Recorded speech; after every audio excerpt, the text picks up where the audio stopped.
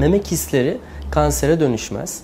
E, meme ancak meme kistleri e, mevcudiyetinde e, meme kanserinin riskinin arttığını söyleyebiliriz.